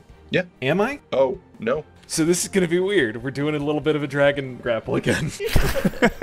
so I'm not currently slowed. But you'll become slowed. I would like to run and jump to the beholder. yeah, sure, And then we're going to grapple the beholder. absolutely. Give me a athletics. That's a 13. 13 is better than his four. Whew. So what does he now do? He's grappled, zero movement. He can hover. He is not restrained. Well, there's a difference. My next question is what do I now do? Since that's one of your attacks in your attack action. One of your hands is occupied grappling him, so you cannot use a two-handed weapon. Do you have a one-handed weapon? No, It's going to be a punch attack then. that's fine. We'll have to catch up with the other question in a minute, which is what happens to me when I am floating in midair and grappling. Punch attack is You have to roll to hit first. 13 to hit, 13's a miss. and that's a 16 to hit. 16's a miss. You good? Hanging on to the eye beast. At the end of your turn, you're going to save against slow again. DC 16. Nope. Yeah, I rolled a 5. Still slow. No one is targetable for the legendary action. Cleric. roll me ten spaces straight at the beholder. That's my turn. The lair action, walls within 120 feet of the eye beast sprout grasping arm appendages. Each creature of its choice that starts its turn within 10 feet of the wall must make a dexterity save. Alright, so we'll do that. The eye beast. Can't move, my movement to zero. Uh, I, I, the eye. The eye!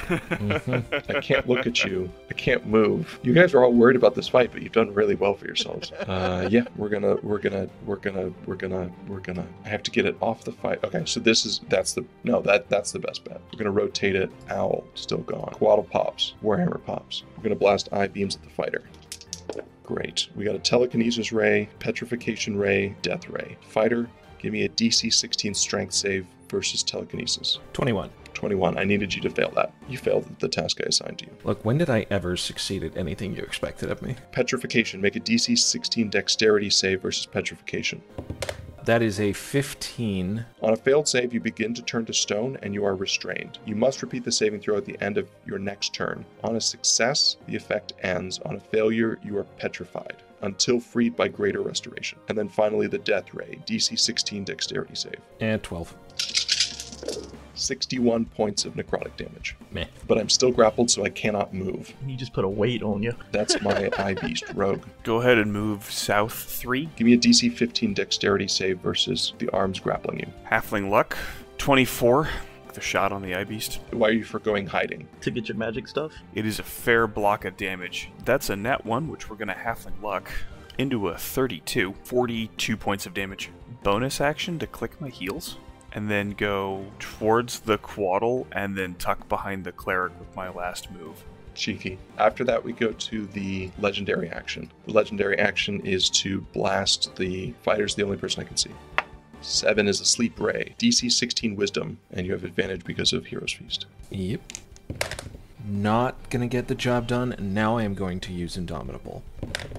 18. Truly indomitable. After that, we go to the wizard. DC 15 dexterity versus grapple. Sure, no problem. 17. 17 will do it. Shatter with overchannel at level 5. Over channel does what? Maxes the damage. 3d8 normally, 1d extra for every third. so it's gonna be 68. 68 maximized. 48 plus 5, so it's gonna be 53 damage. What's the DC? DC 18 con. I'm gonna get a 19 to save against this. Ah. Okay. That's gonna push 53 down to a 26. It was worth the risk. You good there? Yeah, I'm good. After that is the legendary action. I got a 1, which is a charm ray. Fighter, please give me a DC 16 wisdom save versus charm. 16. That'll do it. After that, we're going to go to the fighter. We're going to throw another creature on the field. I'm gonna crack an air elemental gem. It's this or gem of brightness right in its eyes.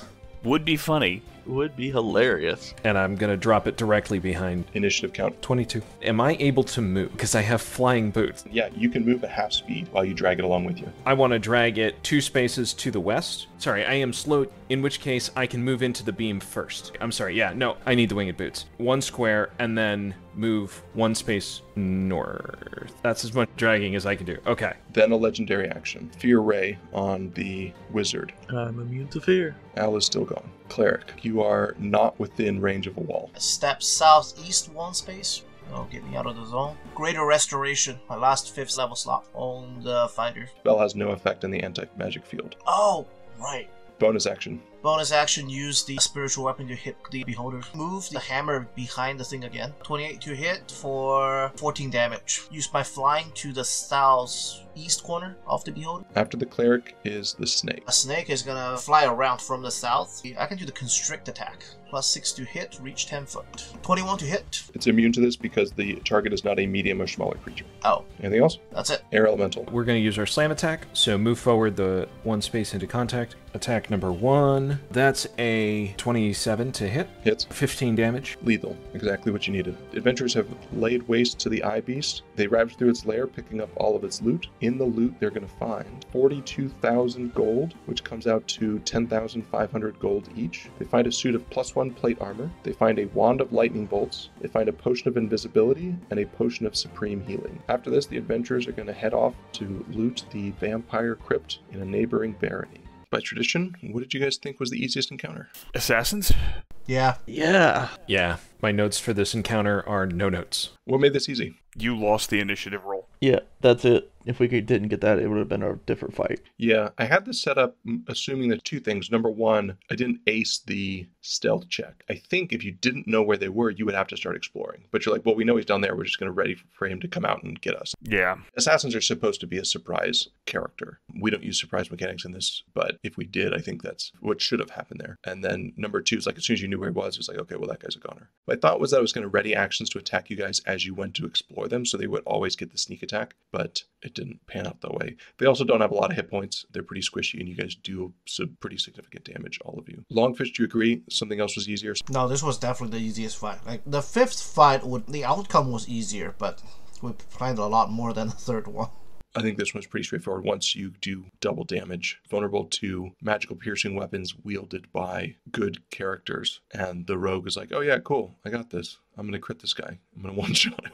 That was a little bit of dice magic, and if he had stayed on the field longer, he might have been a problem, but the joy of vulnerability in 5e meant that he exploded. The fourth one wasn't all that difficult either. The only challenge that this really had for us was the chasm. Once we engaged with things, they pretty much all just died. I think the challenge here was the casters, and then you threw up globe of invulnerability, and that removed the challenge. Sure, yeah. One spell kind of obviated everything else, and then the guy who dropped darkness and let me pound on him in a corner, he isolated himself and he could get no ally support. My thought was I was going to bait you off into the corner, and I wouldn't have to deal with you. Like none of the casters had to deal with a fighter pounding on their face, grappling them, holding them still, saying, "Hey, it's over here." That's what I wanted is for you to run off, and then he just distracted you for several turns. You think your maneuvers over there were the right ones to make, or did you think that in retrospect you're like, well, I kind of wasted my actions? The only actions that I wasted were I pounded on the demon and then he went and got unsummoned anyway. You know, if I hadn't sort of just wasted that time, then I might have gotten hit by some of the casters because I was exposed. I didn't really need to show up for this one. I just went off in the corner and distracted the one demon from supporting his casters so that they could get hosed down. The demon's vulnerable to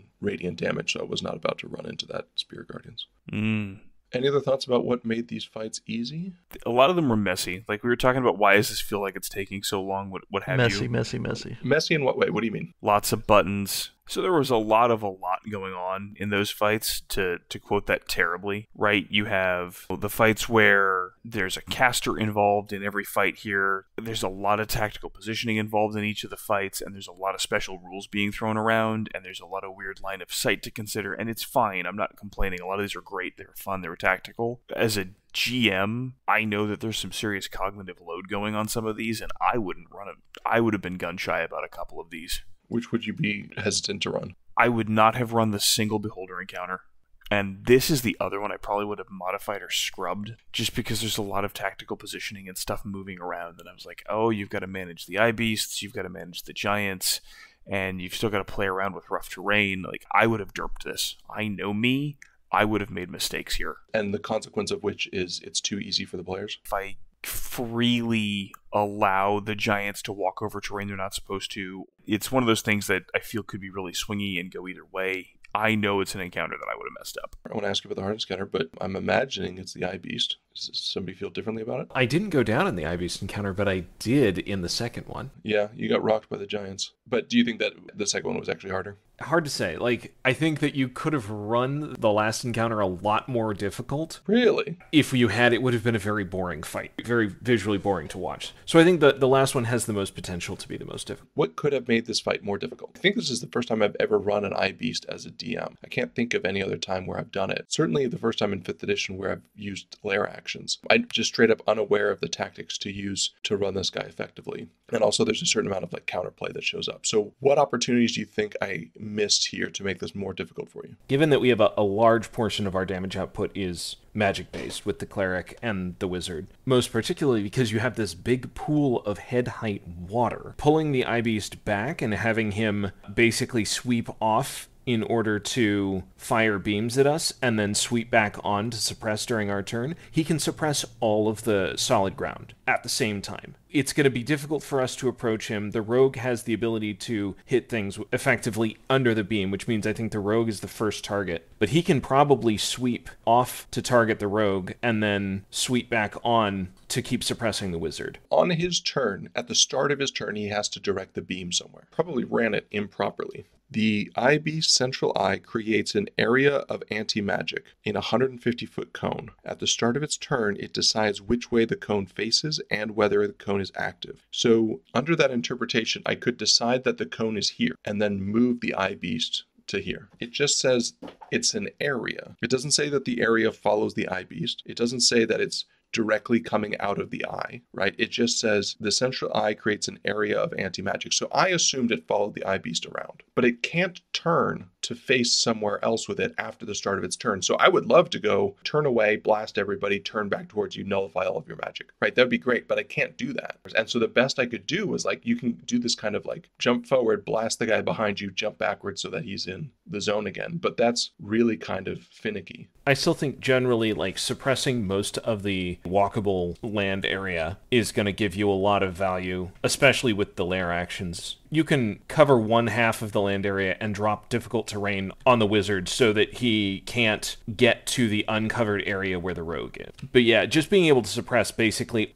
all of the walkable terrain means that like it's pretty difficult to get to the eye beast in the first place. Yeah, if I had stayed back here. Yeah, like slide that up 10 feet and he's got pretty much everything. Well, you can go for a swim, that's fine. And then you fly, and you're fine with that. Then, as we saw, I'm taking all of the eye beams, and we keep the rogue suppressed, and we keep the cleric and the wizard suppressed. I don't know that it necessarily changes the outcome, but it would have been a giant pain. The cleric is going to do the same thing, right? He's going to make it because he's got winged boots, and then you guys are going to flank, which you guys figured out pretty well. It's like we'll put them on opposite sides. Azure Wolf, was this the hardest? No, I don't think it was. I think it could have been, but I don't think it was. I think this one had the most to do the potential to do the most damage. What did you think was hardest? I have to agree. It's the giant one. So, what made this one difficult for you? It's the fear of the rocks because that range is kind of disgusting. 62 40. 12 squares is not a lot to me, but all right, I hear you. This one is the one that actually dropped somebody, even if he was doing his HP right. I think it still would have dropped them, right? Maybe not. Might have had one or two HP left. The one where you actually drop someone. So I felt like this one had the more, we were still getting used to the little IB type things. That could have been it too. But yeah, this one felt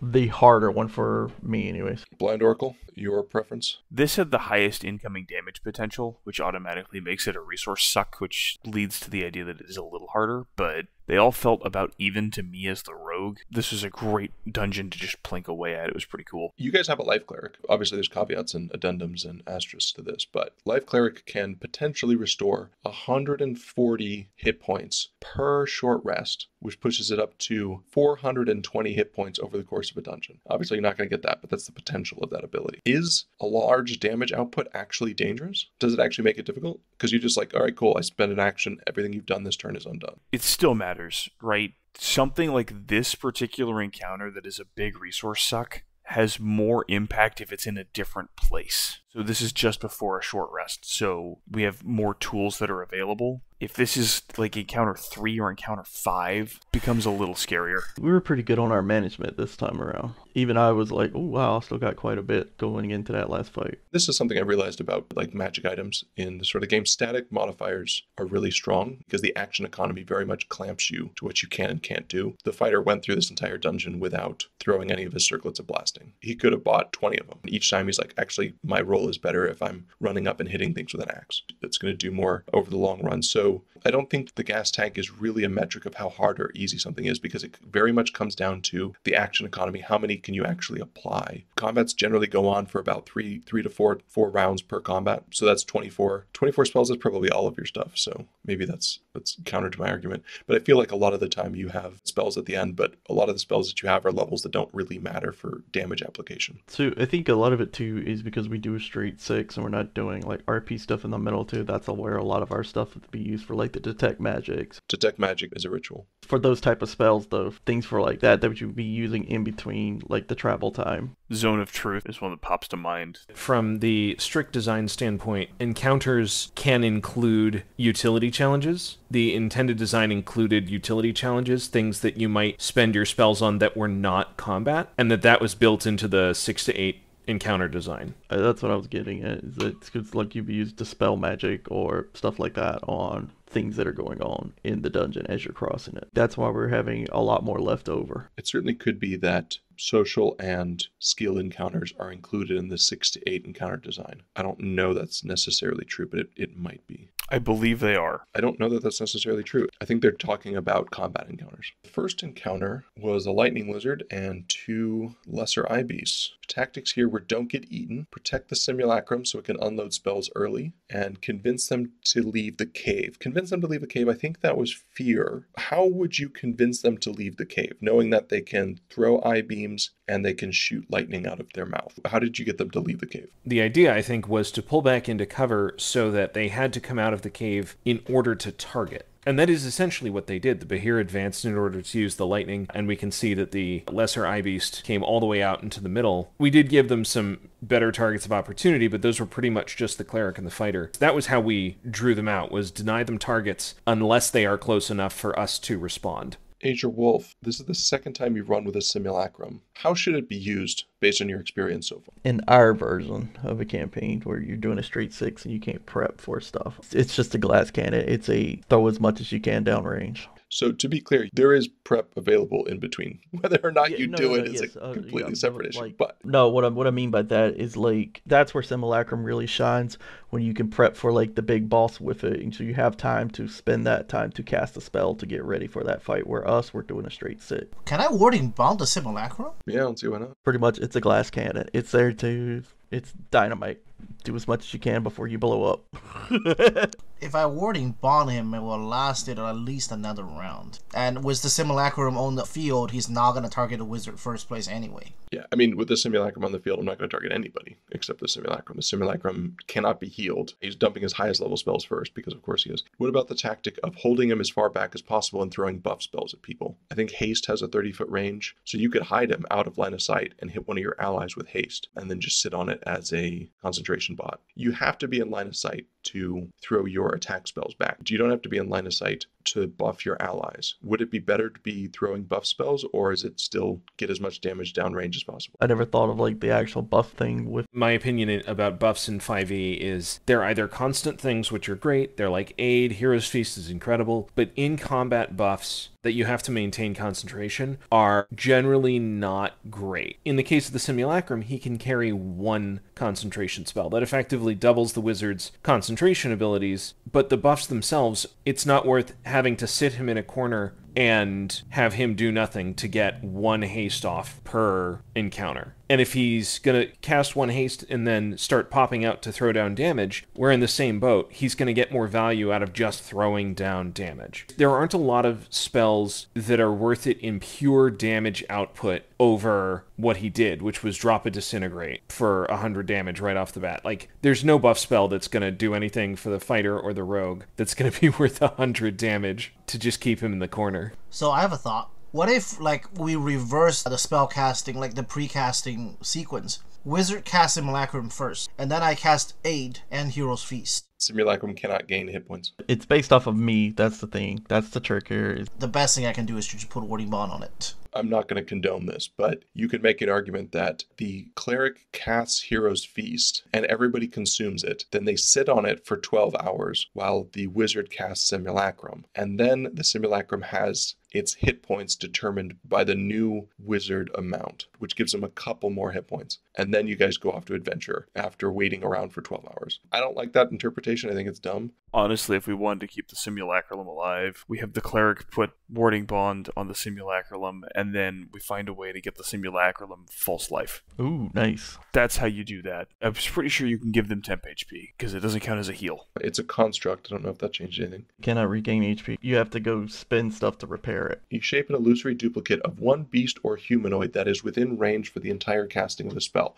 Should it be the wizard? Yeah. What about the cleric? The Cleric's a decent option, but especially an evocation wizard with that damage maxing ability, he just puts down more damage than anybody else is going to in the short time that he's here among us. Blind Oracle, you're probably familiar with the concept of a distraction carnifex. Oh, yes. Would it be good to make a full plate wearing, shield bearing, dodging fighter clone simulacrum? No. Because, no. Hear me out as to why. The wizard is scary, and you have to deal with it. It costs us nothing if it dies. Yes, we're talking about maximizing and keeping it alive, but that's only to make you work that much harder to kill something that is inconsequential resource burn to us. It's a seventh level spell slot. It only has 42 hit points when it's on the wizard. You guys could up that by casting Warding Bond on it. Yeah, and give it haste. It's a little more armor, but the armor isn't really the thing that's going to do it. Fighter, what's your naked hit points? Uh, 158. 75 hit point, AC 20, resistance from warding bond, disadvantage to hit because it's dodging, or it just runs up next to people. You don't want a person that just runs up next to people and gives you sneak attack no matter where you are. Would you actually fight it? That's exactly my point, is I probably wouldn't fight it. He already has someone to do that. Well, then you get two of them, right? You can't be in all places at all times. I'm pretty good at getting sneak for myself, though. Yeah. And there's a couple in the last fight, I think, that you were like, I'm struggling to find it. I think you found it in a lot of cases, but I think there's a couple of rounds where you were like, well, this is a dash and hide round rather than a shoot round. Yeah, and sometimes I've been doing the dash and hide round though, so that I set for survivability purposes, it is better to be able to hide at the end of a turn. So if I burn the first turn getting in position to just play rocket tag with you in from a position of safety the whole time, that's really powerful. Second one. Spirit Guardians, the Eastern Gap. You can't choke point the Eye. Focus fire on the Giant first. Eye Beasts don't do much. Haste the Fighter or the Cleric, and the Rogue also has haste. I really liked hearing that the Beasts don't do much because it let me get free reign to burst down the simulacrum. In hindsight, was that the right move to call them not problematic, or should they have been targeted? They probably should have been targeted, but like like I said, I think we were still getting used to them because once we got to the the one with the bridge, eh, they were kind of the afterthought. Because I mean, I took one down in one round, and the fighter basically did the same on the next, I think. I don't think we could have reasonably expected the simulacrum to stay much more than two fights, just because he's he's so exposed to damage and he's just such an obvious priority target. Like he's the highest priority even over the wizard because he's going to go down and take a lot more potential resources with him. Ultimately, there's only so much we can do to protect that simulacrum. Getting, you know, 100 damage out of him on the first fight probably was worth the 7th level spell. Anything we got after that was gravy and we did get a little out of him I think on this turn, plus, you know, drawing attacks off of our wizard. I do have a bone to pick on this one. When I went down, Longfish decided to engage the giant, let me lie for one turn, and then move close enough to use his channel divinity. Saracen Zero is usually like if somebody went down and you rest them on the spot without them having a chance to stand up, he's just gonna walk over and like advantage stomp on you. Sure. In this case, one, I think the turn order would break down in my favor, so I'd be able to move before he could. And two, you could have used the healing word as a bonus action, so it wouldn't hurt your action economy. And the trade off there was one first level cleric spell for potentially three fighter attack, because I would get up, close, and go for three attacks. And I was still hasted. So three fighter attacks is worth more damage and probably utility than that first level spell will ever be. And because you were giving yourself time to close the distance for the channel divinity, while Saracen will often re engage with somebody who gets back up, there's no ongoing consequence to getting knocked down again. As long as I come back up, you've gained in the action economy with that single spell, and we've still got the channel divinity later at the short rest. There's very seldom a reason to hold that first level spell unless the particular action breakdown is bad, and even then, you're burning a giant's attack to take like 7 HP off of somebody. As Longfish has mentioned, this is not how I play. I don't attack people when they're making death saving throws. No, you attack people when I arrest them. Yep, absolutely. I will 100% do that. But if the DM does attack people who are making death saving throws, you want to get it out even faster. GMs will just hit people while they're on the ground, and a multi attack to a downed character is basically death sentence. Any other thoughts about this one? I should have opened with a ready gem against the eye beast rather than going in and trying to use the gem on a giant. That was just an obviously poor decision. you didn't like that 10 to con save? I should have readied a gem against the eye beast, knowing that, you know, that is not their strong suit. I had pretty much the same thing in the previous fight as well. Being blinded would be bad for them. It's not completely turning them off. They could make attacks at disadvantage. The eye beast, I think they have to see their target to do anything at all. This fight also proved to take that shot at range at disadvantage, even if you got to this fight was split up, cover the doors, mob them after you find them, haste the fighter with scrolls. I gotta say, the moment you said split up, and I was like, yes, this is it. The assassin's gonna get somebody. And then we didn't split up. that made me sad. We did a little bit, but we really didn't have the room to go anywhere. Spirit Guardians really did the trick here. They only move 30, so being able to stand Spirit Guardians in front and also being immune to poison, a lot of their damage, it's like 7d6 poison damage, all of which is ignored. They get 5d6 from their attack and their sneak attack if they get sneak attacks. eat poison for breakfast. Hero's Feast was really the one that made this kind of trivial. yeah. It's one of those I learned to use in one of my other games and looked at it kind of a couple times sideways, like, eh, it's all right. And then once I used it, I was like, no, this is amazing.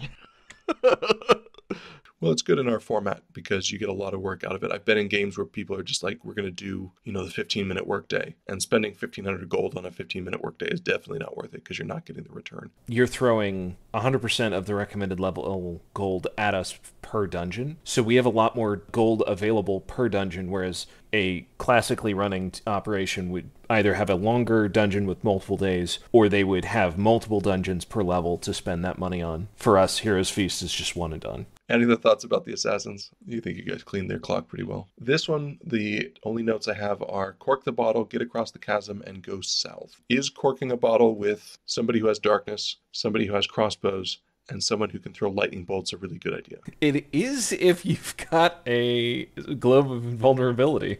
I felt safe in my little bubble up here.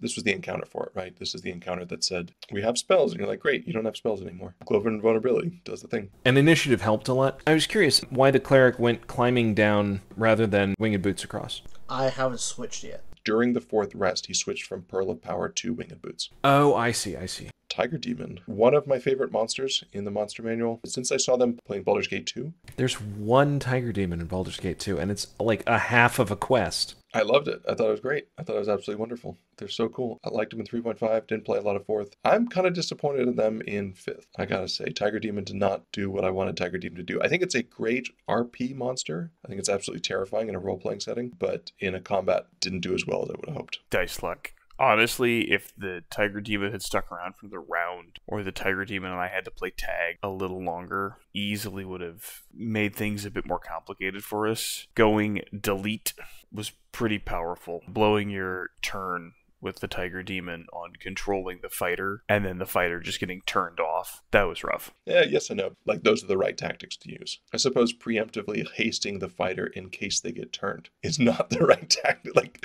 that's just going to make your allies mad at you. But hey, I'm doing this as an insurance policy so that I can disable you anytime I want. Probably not the way to make friends. I've used the haste tactic, that haste tactic on enemies before, where I've given it to the NPCs or the guys we're fighting, and it doesn't happen all the time, but yeah, it's kind of fun to be able like, I just turn it off now. Although you also lose your turn in casting it, so it's kind of a trade off. But then the rest of the team gets their turn, and so it's not as bad. An enemy has to be willing to accept it. I think it has to be targeting a willing creature. And once you've done that on a DM, they're aware of what you're going to do. You can get away with it once. That gets back to the whole thing about if you don't tell them what the spell is. You're right, you can pull one over, but then the correct move for the DM is to read every spell that the player casts, and that just slows down the game unnecessarily. So that's a sh- short term gain for a long term loss. I will say, in regards to Tiger Demons, my understanding is they are probably the greatest social villain. They are not a combat encounter villain. They are probably the greatest social villain for a campaign that can be had. They're magic immune. They're ridiculously hard to identify and then to defeat. They're a great social campaign villain, but they're just not really intended as combat encounters except for that one fight. One of the ways that Tiger Demons become a real combat challenge is when there is another big problem minions and a Tiger Demon or two. Because now you have an embedded caster that every turn is going to play Shuffle the Cup and do things like I'm going to charm the fighter again. I'm going to make the big bad guy invisible. I'm going to throw up a major image. I'm going to suggestion. They do not stand up as the single solitary bad guy or as the driving bad guy on the back end. Using them to spice up a challenge rating 15 is just chef kiss good. Why are you giving him ideas? A lot of casters are in that boat. They're not able to stand on their own. You can't put them as the single foe, but if you put them as the supplement or the support for somebody else, kill the caster first, you're like, great, I'm going to get several rounds of unmitigated damage with my main show, and then the side show is going to distract you. So the first good one is the NPC Mage, which is a CR6. They show up kind of late. They are demon demons. They are not native to the material plane, and if killed, they are banished. So they can come back with a vengeance later on. Great villains, not always great combat encounters. The sixth one, your tactics were brawl. I think brawl was the right way to go. The way to fight this monster is to make it pick the direction that it has to look and grappling it, forcing it to not be able to move. Because I think the tech that it has is to look one way, do its actions, and then move in such a way that it doesn't suffer the repercussions of those actions. And if you can take that movement away from it, I think that's the way to turn this guy on. Because he can turn and look in whatever direction he wants. If you prevent him from being able to move afterward, it stops him from like blasting the wizard and then looking at the wizard to turn the wizard off. Brawling, getting in close, it can only turn off a couple of people at a time. The only difficult part of that is tanking the entire approach, which you guys did decently well. I think I handed you a lot of wins when I was just like, cool, everybody's turned off. Oh, and now I don't do anything. Yeah, that's how these fights have always gone with the IVs that I've been in. Is once you get on it, it's pretty much a done deal because you can just do the slap in the circle type thing with it. If you guys still have your dice out, Blind Oracle, Longfish, and Fear No Equal, please go ahead and roll initiative for me. A 20. 11. Blind Oracle, you got higher initiative. Do you want to yell at Azure Wolf about what he should have been casting instead of Shatter? I don't have any brain power. Someone else needs to do this. Fear, you want a second shot? I'm pretty sure Fireball is just straight up as good at level 3 as Shatter at level 5. And I don't even know the rest of his spell list off the top of my head, but Fireball was going to drop like 43 or 53 off of just a maximized third level Fireball. Wrong answer. Longfish, you want to take us home? Chromatic orb?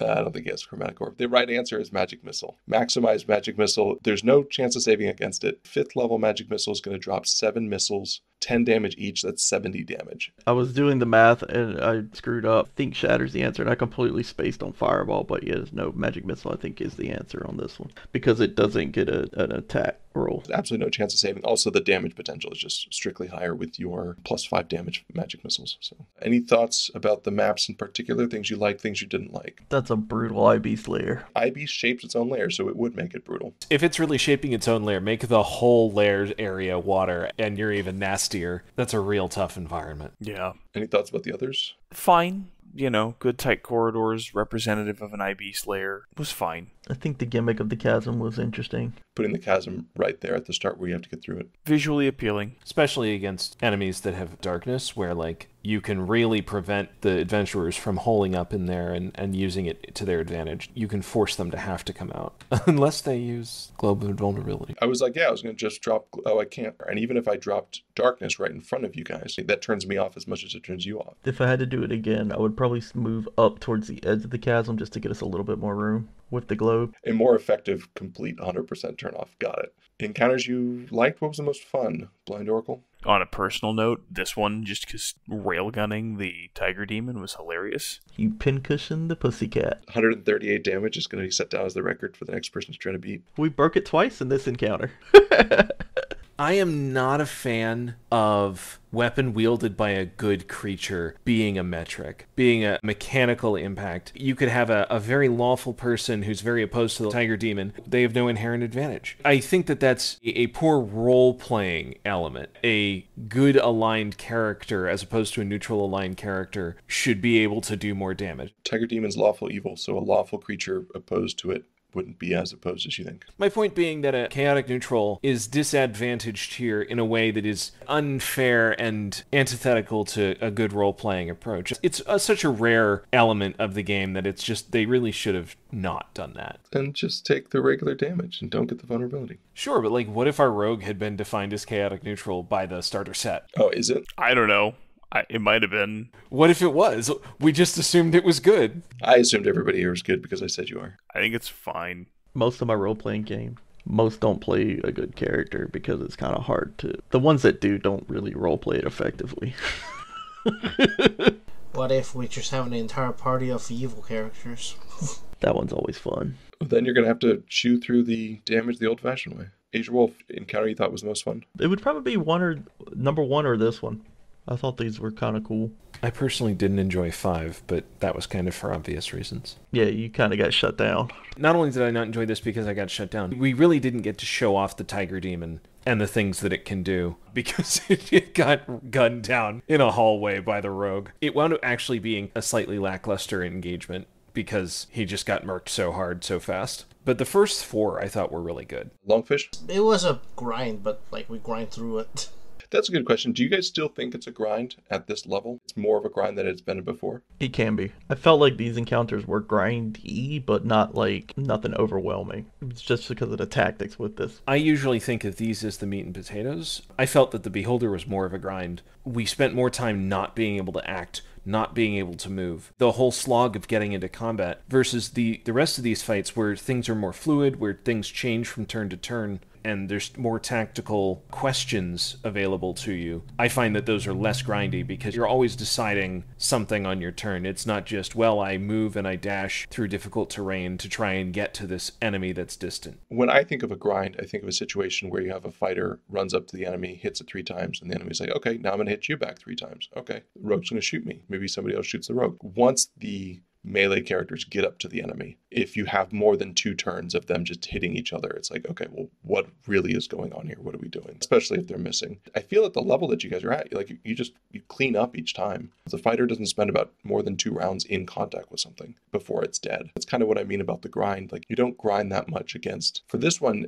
the advancement I don't see as a grind. It's only once you get in contact with them, then it's the grind starts. But even here, 180 hit points against four of you guys, that's that's going to drop pretty quick. Rogues doing about 40 a turn. Fighter's doing about 30 a turn. Wizard's doing about 50 a turn when he can hit. Cleric's on the low end of the DPS. He does connect, he does damage, and especially AoE damage in certain scenarios. But single target damage, I think his is the lowest. It's probably around 15 on average. If you guys are just wailing on one target, then that's kind of like, all right, we're only going to be here for two rounds at most. Any tactics that did not get implemented that we wanted to see? Grappled another flying creature, so I'm good. And I got a blind off. I was pretty pleased with the blind the one time that it worked. Surprised you didn't blind the eye beast. I was honestly I wasn't sure that it would work. The air elemental behind him was a more reliable damage output. Yeah, I was totally expecting you to put it right in front of his eye and blind him. Well, unless he had a specific interaction with blinded and I didn't know if he did, I figured the air elemental was the actual reliable one, but I could have gone for for maximum meme value by using the gem of brilliance in front of his eyes. He has to be able to see his targets to do any of his attacks, so it kind of does have a specific thing against blinded. He also gets a save against that. He doesn't get a save against the air elemental. The next dungeon is a vampire crypt at 15th level. You guys are returned to see undead again, which we haven't seen for a while. Eighth level spells. Alright, bring daylight. That's all for the encounters descending into the Eye Beast lair. Next week, we'll continue with level 15 and assaulting a vampire's castle. Thank you for stopping by. I'm Saracen Zero, and I hope to see you then.